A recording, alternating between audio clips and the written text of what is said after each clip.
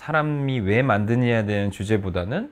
그런 것들이 어떻게 하면은 잘 쓰여가지고 뭐 부가가치를 창출해낼 수 있을 것인가 이런 쪽에 이제 초점이 맞춰져 있는 거가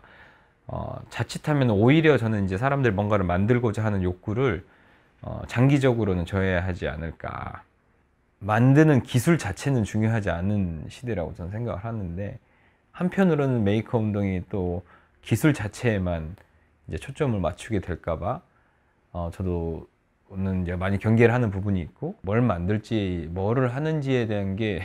근본적으로 다시 이제 이야기 돼야 되는데 그런 생각을 가지고 있었죠 지금.